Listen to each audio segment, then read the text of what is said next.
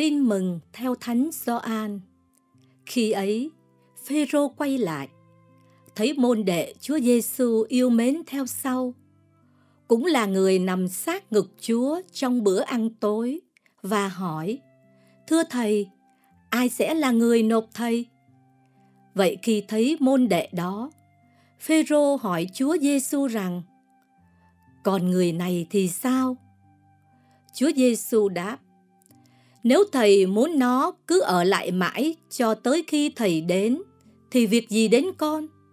Phần con cứ theo thầy. Vì thế, có tiếng đồn trong anh em là môn đệ này sẽ không chết. Nhưng Chúa Giêsu không nói với Phêrô, nó sẽ không chết.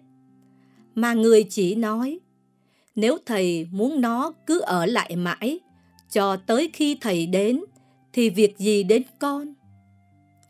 Chính môn đệ này làm chứng về những việc đó và đã viết ra. Và chúng tôi biết lời chứng của người ấy xác thật. Còn nhiều việc khác Chúa Giêsu đã làm.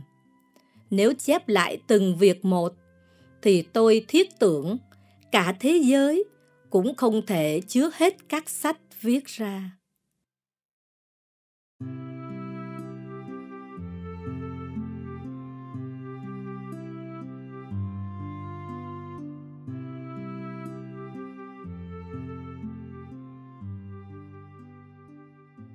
Người môn đệ Đức Giêsu yêu mến.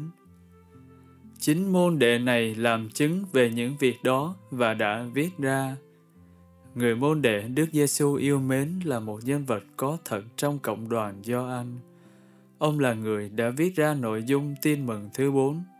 Sự hiện diện thực thụ của ông khẳng định uy thế của sách tin mừng.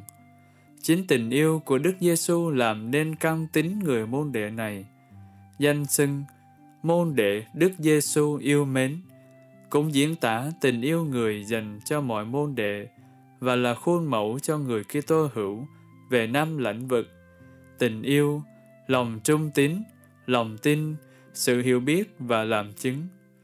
Độc giả qua mọi thời đều có cơ may trở thành môn đệ Đức Giêsu yêu mến nếu biết sống tương quan mật thiết với Đức Giêsu, can đảm làm chứng cho người.